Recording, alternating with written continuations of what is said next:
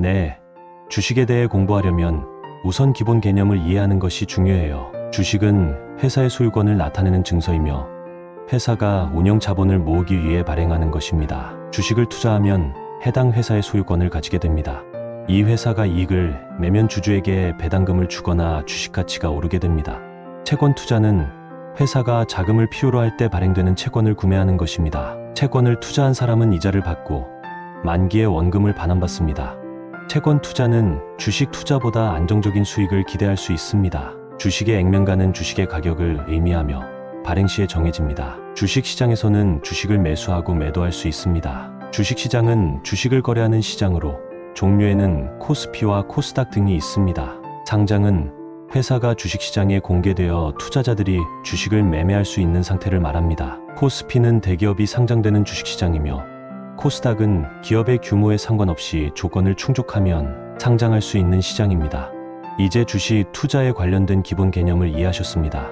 주식시장의 작동 원리와 주식 투자 방법을 알아가면서 투자에 대한 자신감을 키워보세요. 함께 공부하고 배우는 과정에서 더 많은 지식을 습득할 수 있을 거예요. 이어서 주식 투자에 대한 추가 정보를 알려드리겠습니다. 주식시장에서 주식을 매수하고 판매하는 방법은 간단하지만 신중해야 합니다. 주식 투자는 자산을 키우는 좋은 방법 중 하나이지만 시장 변동성과 위험이 있으므로 신중한 판단이 필요합니다.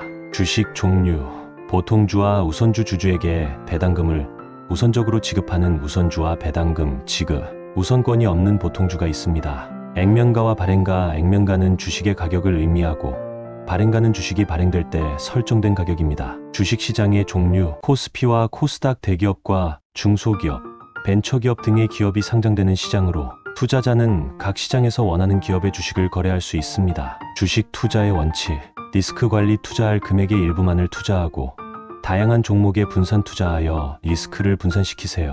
장기 투자 단기적인 변동에 휩쓸리지 말고 오랜 기간 동안 투자하여 안정적인 수익을 추구하세요. 정보 수집 기업의 재무 상태, 경영 전략, 시장 동향 등을 꾸준히 분석하고 정보를 수집하여 투자 결정에 반영하세요. 주식 투자의 이점.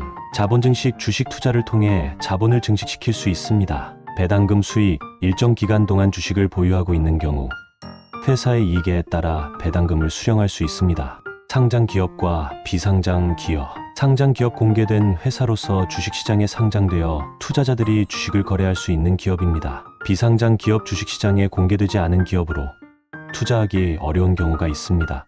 주식 투자는 자본시장의 중요한 요소로 투자자들의 경제 활동과 기업의 성장에 큰 영향을 줍니다. 그러나 투자는 항상 리스크가 따르므로 신중한 자산 관리와 정보 수집이 필요합니다. 투자 전문가의 조언을 듣고 전략적인 투자를 통해 안정적인 수익을 추구하세요.